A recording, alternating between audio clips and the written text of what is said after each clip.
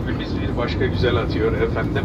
Memleketimize gidiyoruz diye biz de tatlı tatlı yüzümüz gülüyor. Efendim sevgili arkadaşlarımla birlikte hizmetinizdeyiz.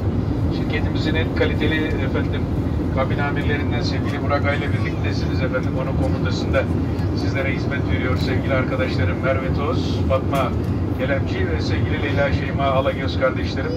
Biz de kaptanlar olarak efendim e, sizlere kokpitten hizmet veriyoruz. Sevgili genç arkadaşım Berker ile birlikte.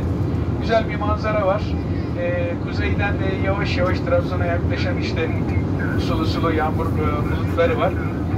İnişimiz e, Gürcistan tarafından dönüp geleceğiz. Yani inerken dağlar zorunda kalacak efendim. Malumatınız olsun.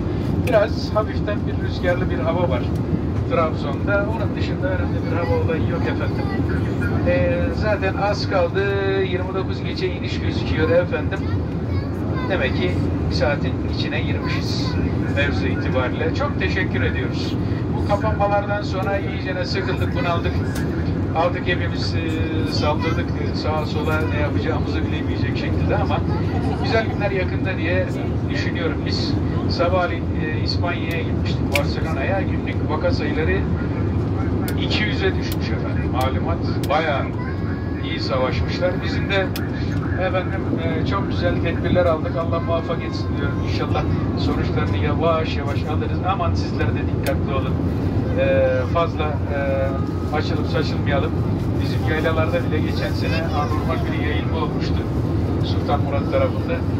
Azıcık dikkat diyoruz ki e, şu yazı misler gibi geçirelim efendim. Herkes aşılarda da güzel güzel yoğunlaşma olmuştur.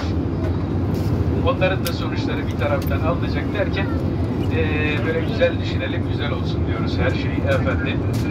Ankara tarafı sağda kaldı efendim. Çarşambaya doğru devam ediyoruz.